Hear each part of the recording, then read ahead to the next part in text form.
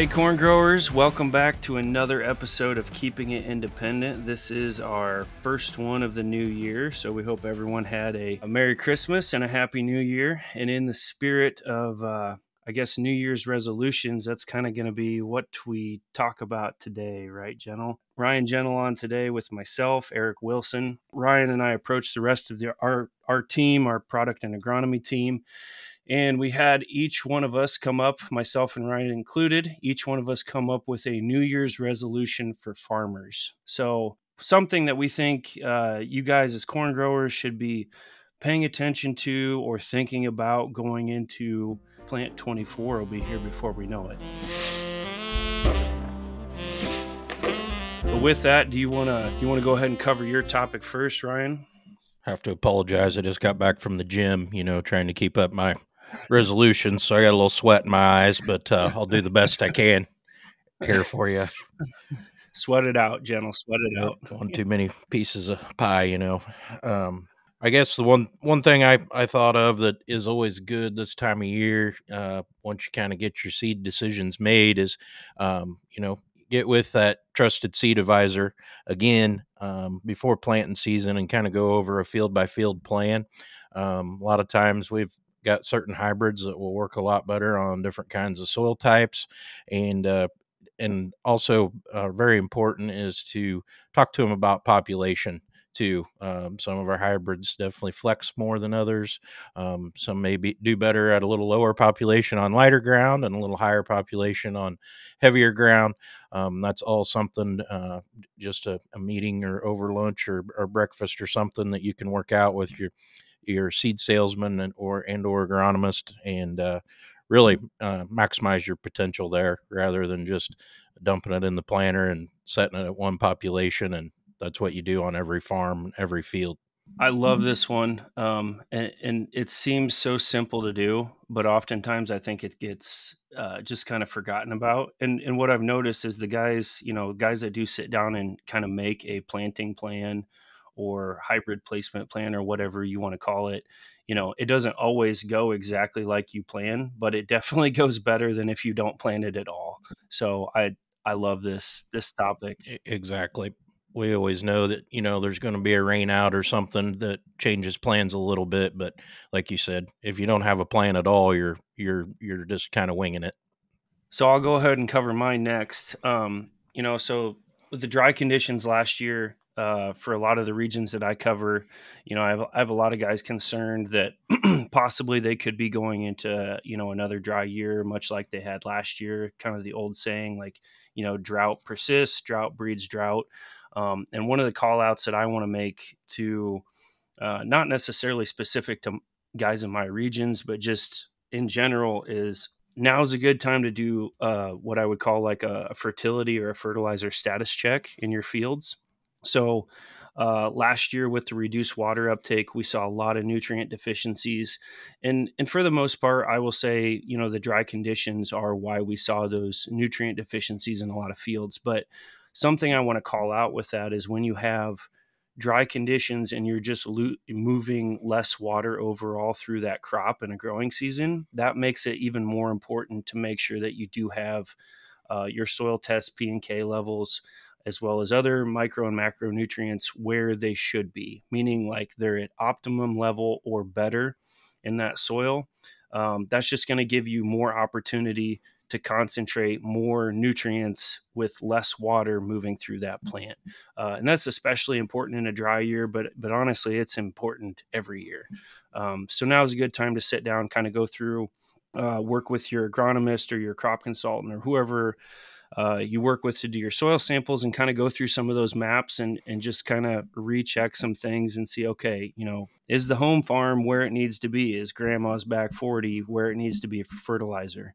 Because um, all those little things matter, especially when you have drier conditions. For sure, Eric. I know in June, before we got the, the wind and the rain, and almost every cornfield around here was showing some uh, deficiency and turning yellow and uh, just took a little time for uh, a little rain to move that move that product through the uh, through the soil and uh, kind of cured itself. But um, there's a lot of guys getting pretty nervous uh, when they see their fields turn yellow like that. Absolutely. Well, I think we can move on now to uh, Dr. Tharp's topic that he brought up. So the, he's the brains of the operation on our team. So this one should be pretty high level. What he uh, come up with was uh, doing some population strips. Um, I think there's probably some some farmers out there, customers out there that maybe uh, are leaving just a little bit on the table uh, in some certain areas or certain types of soil with certain hybrids. And, uh, you know, the only way you're really going to be able to check that on your farm is to up your population for a few strips uh, in, a, in a few fields out there. And more than just a thousand plants, we're talking, you know, if you plant at 36, maybe you bump it up to, uh, you know, 40,000, 39, 40,000, you know, three to three to 5,000 increase from where you normally plant. Um, and, and do it in a in a couple different fields with a couple different hybrids and uh, just see if you get a response there because uh, a lot of times you do uh, with a little bit higher population I like this one too, and it kind of ties back into your making a planning plan, you know, season long plan, but bump it up from whatever your your comfort zone is you know? But bump i like to tell guys what what what number is going to make you uncomfortable when i have this conversation? And they'll throw out a number and then i'll add you know two to it to a couple thousand and then i'll say that's what i want you to try right? So like you said ryan if you're at 30 or uh excuse me 36 bumping it up to 40 or even 42 and and keep in mind we're not asking you know you to plant whole fields at this range but pick two or three fields and put put a pass out there and, and keep track of it. And the nice thing about that now is so many guys have you know electric drive or variable rate planters you can do this all from the cab. Doesn't require you to get out of the field. It's very easy. Yeah it, it's so simple to do and and it gets logged in in whatever monitor you're using and you can follow it through the season and it's a great way to see you know just kind of do a status check of your own. Okay what what kind of population is my ground capable of taking yeah, I think Jared had an example up up in the land of the Vikings there that uh, a guy accidentally planted um, some at seventy thousand and left a, a, a, strip. He decided to just leave it, and it actually yielded yep. a little bit more than the rest of the field planted at thirty six, which is kind of crazy. Um, I'm sure the stalks were about as big around as my pinky, but that's always a risk you run too when you bump it up. But um, just kind of a neat example there where I would have never guessed seventy thousand would have outdid the the thirty six. Yeah, that I mean that that's high enough to make me uncomfortable for sure. Yeah. It was with a it, it, it, was with a good hybrid. I mean, it, I think it was 5086 W5086 was the hybrid he used, and it did. It sounded. I don't think he had the final numbers yet, but it, it was significantly more than the 36,000. Uh, I'm not saying take it to 70, but you know, 40s 40s not an unreasonable number to just to experiment with you start reading about some of the national corn growers and some of these plots, um, a lot of them are in the 40,000 range. Uh, you don't see too many of them planted at 32 or 34 that are winning. Right. All right, Eric, I think you've got the next topic from Mr. Goplin. Yep. Still on the same topic of Goplin up there in the uh, Great White North. I thought this was an interesting one. Honestly, I hadn't thought about it, but when he when he presented it, I, I I knew that this kind of issue, or I guess I'm not, I don't want to call it an issue, but I knew this thing existed, uh, but I just never thought about it. So I thought this was a great call out. So uh, basically, his resolution is uh, know what you're spraying and what you're trying to control. He kind of got into this a little bit on his own operation. You know, when he was sat down last year to order chemicals for herbicide and looking at premixes and generics and things like that um, what he what he started noticing and you know this is in some not all i'm not going to call out anything specific but uh, and a lot of these premixes although it might have two three maybe even four chemicals in it for weed control they're not always at the rates that are mm-hmm. necessary needed to mm-hmm. control uh, specific weeds. So one example he uses, okay, if you've got a premix that has acetochlor in it, and your biggest issue is say water hemp, uh, the other two chemicals in that premix, other than acetochlor, aren't really going to do much for water hemp. And then with mm-hmm. that, check the rate of how much acetochlor is in that premix.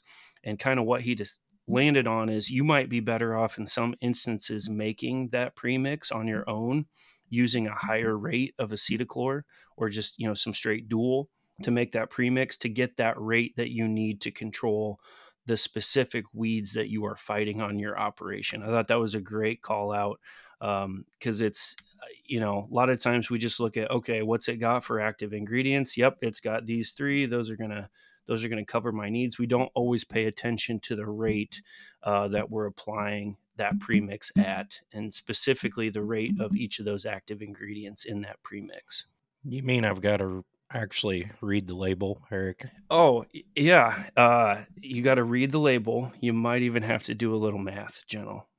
So get your phone out because I know it's got a calculator.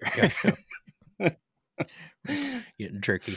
Yeah, it's uh, you know, especially some of these guys. Water hemp's a great example. I know we fight that on our operation too, and and we've started doing some very targeted, I guess I'll call it spray recipes to better control water hemp. So all good things to pay attention to. I think that leads us to our last topic. I'll let you uh, let you cover that one. Sounds good.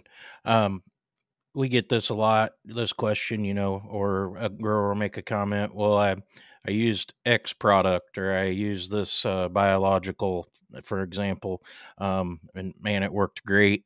I I think I probably gained about five bushel an acre, and uh, I always asked, well, did you put it on every corn acre or did you leave any check strips? And a lot of the time they say no. So, how do you really know if you gained anything or not? Um, it, it, may have not been that biological. Uh, maybe it was, you know, just the weather that year. But, you know, pick pick one product or practice something different you want to try for the year and and try it out and and test it make sure you map it mark it out in the field, make sure you know um, where you put it so you can go back in the fall with the combine and actually check yields uh, and and compare you know just like we talked about with the population strips you know if you want to want to try a certain biological or micronutrient package or um, uh, higher you're going to put on 30 pounds more of nitrogen or something uh, with y drop you know make sure you leave some strips uh, that's the only way you're ever going to know if it actually worked or not. And do just do one thing per strip because when you start mixing two or three things in a strip, you still don't know which one of those actually benefited, um, or sometimes maybe even hurt you. Yep. Yeah, that I would stress that. Just pick one. Just pick one new thing that you want to try, and only test that one new thing. Um, I, I I've seen that before. Guys are trying a bunch of stuff and ah, let's just ah put it all in there. Put it all in the sprayer. We'll just go paint the whole field. We'll do everything. And you get to the end of the year and you know, you, you might see some kind of response uh, compared to another field next to it, but that that's not always a good way to tell, right? It's got to be in the same field. You got to leave some check strips.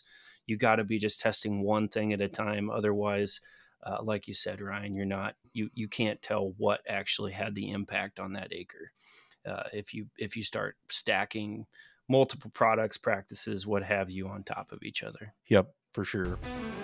I think that rounds out the uh, the resolution part of our uh, agronomy podcast today, keeping it independent. But uh, we're going to try a little something new today. Today, Ryan's going to be the guinea pig, and kind of the topic is what what are you watching or what are you reading I guess just kind of setting the stage, Ryan. You know, this could be another mm-hmm. podcast. This could be some kind of publication, another podcaster, influencer, print publication, whatever it might be. What are you looking at in the world of agriculture that you find interesting uh, going on today?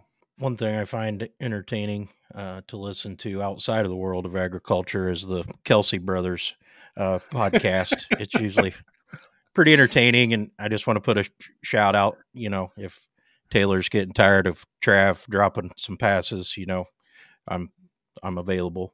Um, that may increase our viewership too if we can get some Swifties um, listening to keep it an independent. We'll see how that goes.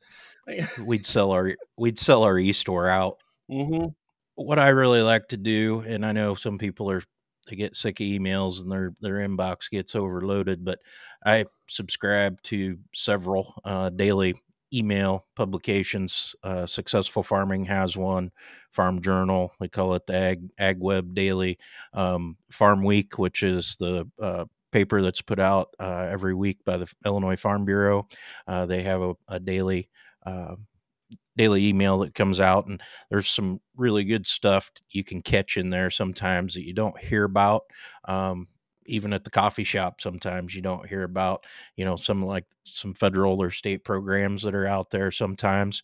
Um, i just read last week that uh, for example that um, in illinois anyway they're uh, really making a push to pay for guys to increase cover crop usage and uh, i think it's up to like 70 some dollars 77 something like that an acre. Uh, there's certain stipulations you got to go through and and uh, what to plant and stuff like that but just little things like that you can catch sometimes. Um, you can read the whole email in about five minutes if that even. There's stuff you can skip you know if it doesn't pertain to you you know.